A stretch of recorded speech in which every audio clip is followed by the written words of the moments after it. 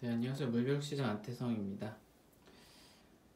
음, 어제 구피가 한 마리 죽었어요. 근데 최근에 지금 죽고 있는 구피들의 특징이 어, 출산을 임박했다는 거를 깨닫고 산소 부족으로 죽었다는 거를 알, 추정할 수 있었습니다.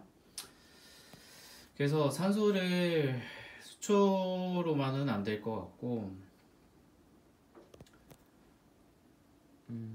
산소를 공급할 방법을 찾아야겠어서 이런 프로펠러를 달았습니다.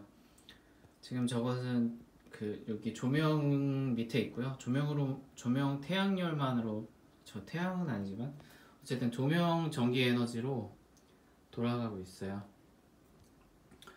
오늘 아침에 후다닥 했어요. 그 설마 했는데 오늘 아침에도 거의 음, 출산 직전에 구피가 죽은 걸 보고 아마 그 뱃속에 있는 새끼들이 산소를 가져가기 때문에 아마 알을 그 출산을 준비하고 있는 구피에겐 더 많은 산소가 필요한 것으로 보입니다.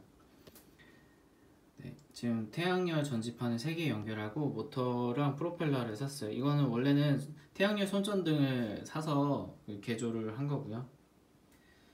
그리고 이게 혹시 어, 태- 햇빛이 딱 비치면 굉장히 빨리 돌아요. 그래서 이렇게 페트병을 잘라가지고 빨리 도는 걸 이제 방지했습니다. 막 튀니까요.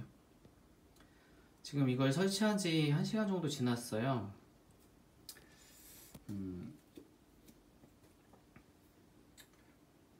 어찌 될지 궁금하네요. 그 오늘 아침에 너무 미안하, 미안했습니다. 구피들에게. 어저께 그 넷플릭스 문어 다큐를 보는데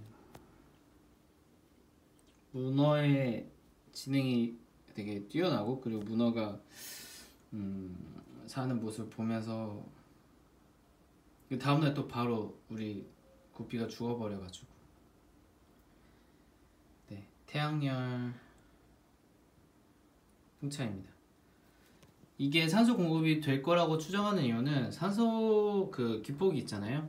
기폭의 역할은 직접적으로 어, 그 수, 수중에 뭐 산소를 공급하는 것도 있겠지만 에, 이 많은 면적이 공기에 노출이 돼야 수중에 많은 산소가 공급이 된대요. 근데 전 기포기가 너무 소음이 심해가지고 이걸 해결할 방법을 찾다가 수면을 어쨌든 일렁이면은 그러면은 산소가 많이 들어가지 않을까 하는 생각에 지금 풍차를 설치했습니다.